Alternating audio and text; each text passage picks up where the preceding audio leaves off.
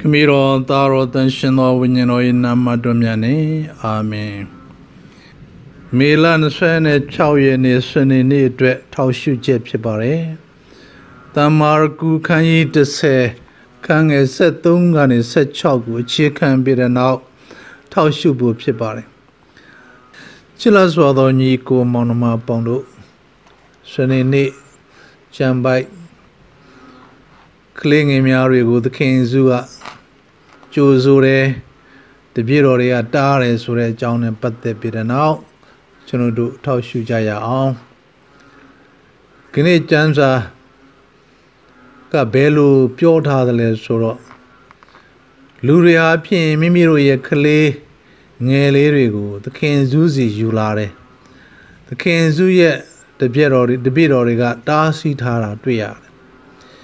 မိဘတွေဘာကြောင့်ယူလာတယ်လဲကလေးတွေကိုသူတို့ယူလာရခြင်းအကြောင်းရင်းကသူတို့ရဲ့ကလေးတွေရဲ့အပေါ်မှာသခင်စုလက်ကိုတင်ပြီးတဲ့နောက်ကောင်းကြီးပေးစေခြင်းလို့ဖြစ်ပါတယ်အဲ့ဒါလိုကောင်းကြီးပေးခြင်းအပြင်ကာယဝိညာဉ်စိတ် နဲ့ဆိုင်တဲ့ကောင်းကြီးကျေးဇူးတော်ရမယ်ဆိုတာကိုယုံကြည်လို့လည်းပဲဖြစ်ပါတယ်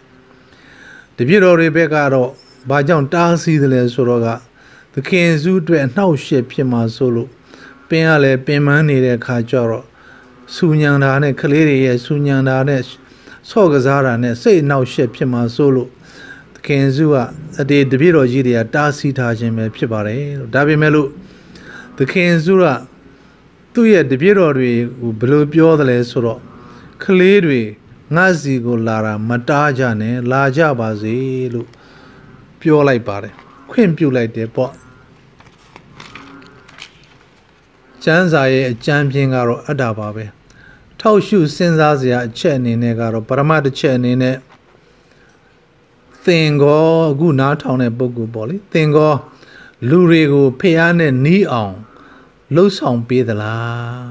ကိုကိုမေးဖို့နော်ကျမ်းစာမှာပါတဲ့မိဘတွေဟာဖြစ်ရင်သူတို့ရဲ့သားသမီးတွေကိုသခင်ဇူးစီယူလာတာရည်ရွယ်ချက်ရှိတယ်သခင်ဇူးစီကကောင်းကြီးကိုရဖို့သခင်ဇူးမှာကုသမှုကို ပြုနိုင်တဲ့တကူရှိတယ်ဆိုတာယုံကြည်လို့ခုနပြောသလို ရုပ်ပိုင်းဆိုင်ရာမှာပဲဖြစ်စေစိတ်ပိုင်းဆိုင်ရာမှာပဲဖြစ်စေဝိညာဉ်ရေးပိုင်းဆိုင်ရာမှာပဲဖြစ်စေလိုအပ်တဲ့အကုသမှုတွေကိုနော်ခံနေရတဲ့ဝေဒနာယောဂါတွေကိုပျောက်ကင်းအောင်ကုသပေးဖို့လိုအပ်တဲ့ကုသမှုတွေကိုပေးဖို့အတွက်သခင်ဇူးစီကိုယူဆောင်လာတယ်အဲသခင်ဇူးကလက်တင်ပေးခြင်းအပြင်ပျောက်ကင်းစေနိုင်တယ်ပျောက်ကင်းစေတယ်စေမယ်ဆိုတာကိုယုံကြည်တဲ့အတွက်ကြောင့်မိမိဘများတွေဟာ သူတို့ရဲ့သားသမီးတွေကိုသခင်ဇူးစီကိုယူဆောင်လာခြင်းပဲဖြစ်ပါတယ်။ဒီနေ့နားဆင်နေတဲ့ပုဂ္ဂိုလ်များတွေအနေနဲ့သင်ကောကိုယ့်ကိုပြန်မေးရမှာပေါ့လေ။လူတွေကိုသခင်ဇူးစီရောက်အောင်ခေါ်ဆောင်ခြင်းတဲ့စိတ်ဆန္ဒရှိသလားစိတ်ဆန္ဒရှိပြီးတော့နောက်လည်းပဲစ조사ပြီးတော့နောက်ခေါ်ဆောင်ပြစ်အောင်ခေါ်ဆောင်သလားဆိုတာပေါ့လေနော်အဲ့ဒါမျိုးလေးတွေအဲ့ဒါလို့စ조사ရမှာပေါ့ သခင်စုကိုဘယ်လောက်ယုံတယ်လဲပေါ့ကိုကိုတိုင်ကကောသခင်စုကိုဘယ်လောက်ယုံတယ်လဲဆိုတဲ့အပိုင်းနေ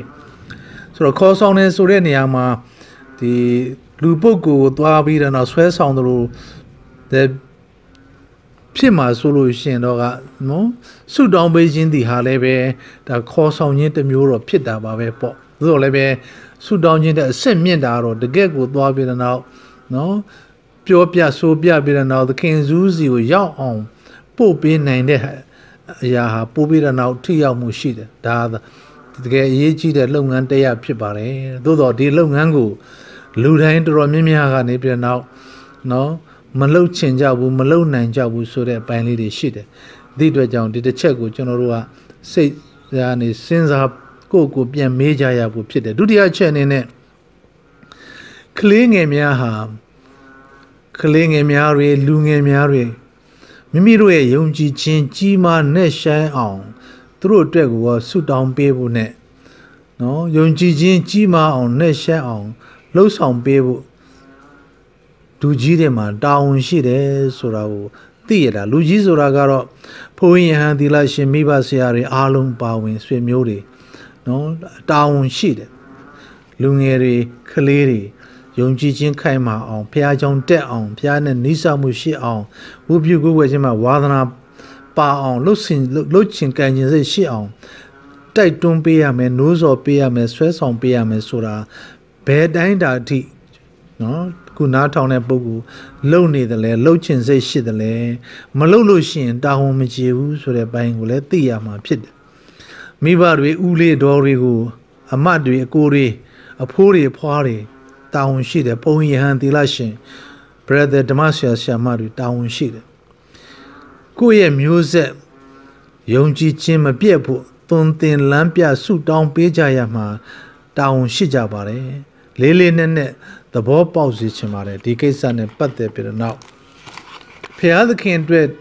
တန်ဖိုးမရှိတဲ့သူဆိုတာမရှိပါဘူးလူတိုင်းဟာဘုရားသခင်ရဲ့မျက်မှောက်မှာဘုရားသခင်အတွက်လူတိုင်းဟာတန်ဖိုးရှိတဲ့သူတွေကြီးပဲဖြစ်ပါတယ် ဒီအတွက်ကြောင့်ဘုရားသခင်တန်ဖိုးထားတဲ့လူတိုင်းကိုကျွန်တော်တို့တယောက်စီရလည်းပဲတန်ဖိုးထားပြီးတော့နောက်မဆုံးရှုံးဖို့အတွက်ကာကွယ်ဆောင်ရှောက်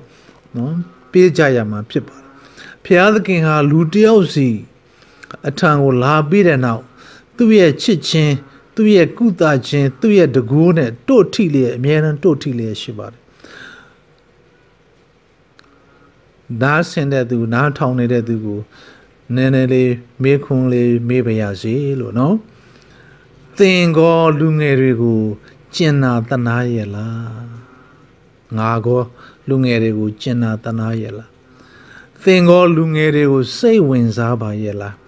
ဘုန်းကြီးဟန် brother sister ဓမ္မဆရာမိဘဆရာတွေအားလုံးသင်ကောလူငယ်တွေကိုဂယုစိုက်ပါရဲ့လားကလေးတွေကိုရော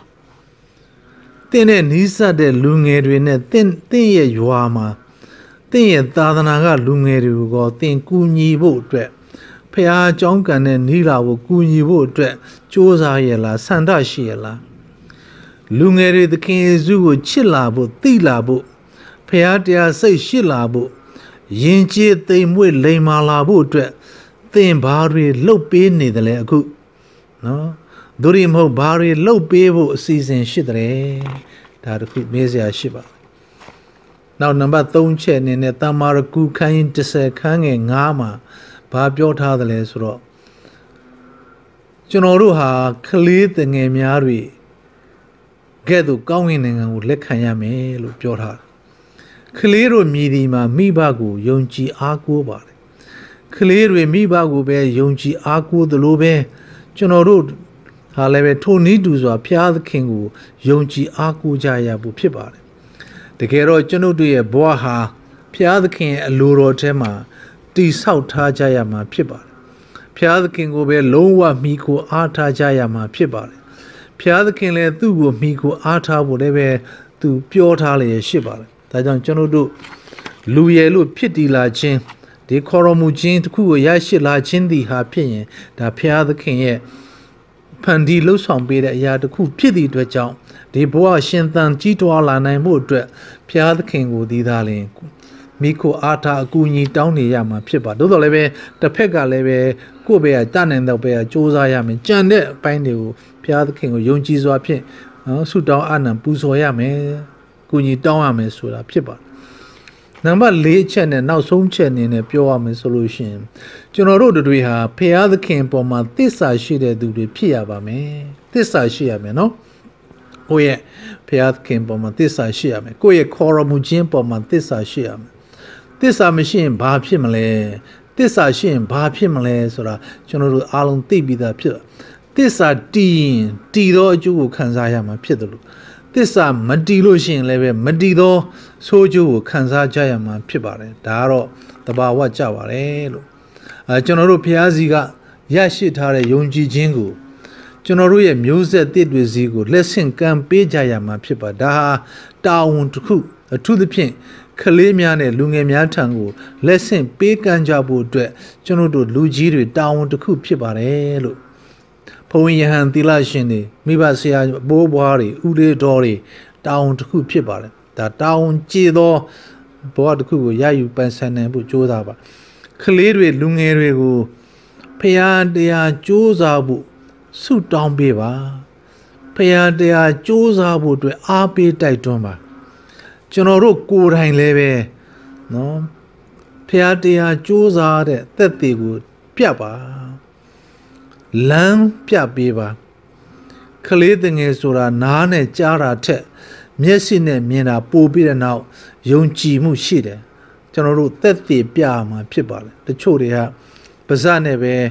ခိုင်းပြီးတဲ့နောက်ပါဇက်နဲ့ပဲသူကိုယ်တိုင်ကမကျင့်တဲ့အခါကျတော့သူ့ကိုတန်တရားဝင်သွားကြတဲ့အပိုင်းတွေအများကြီးရှိတယ်ကျွန်တော်တို့ရှောက်လန်းတဲ့ခီးစဉ်မှာ ကျွန်တော်တို့ကအပြောနဲ့ပဲလှုပ်ပြီးတဲ့နောက်လက်တွေ့သက်သေမပြတဲ့အခါကျတော့ကျွန်တော်တို့ပြောတာတွေရောကျွန်တော်တို့ဘဝတစ်ခုရဲ့လှုပ်ဆောင်ချက်အားလုံးပေါ်မှာတန်တရားနဲ့ပဲဒီမြင်တွေ့ခံယူထားကြတဲ့လူတွေအများကြီးရှိတယ်။ဒီအတွက်ကြောင့်ကျွန်တော်တို့ကပြောတာထက်မိမိကိုယ်တိုင်ကိုယ်ကပြတ်သားမှုတွေဟာအရေးကြီးတယ်။ဖျားသခင်ကိုသိအောင်လူငယ်တွေကလေးတွေ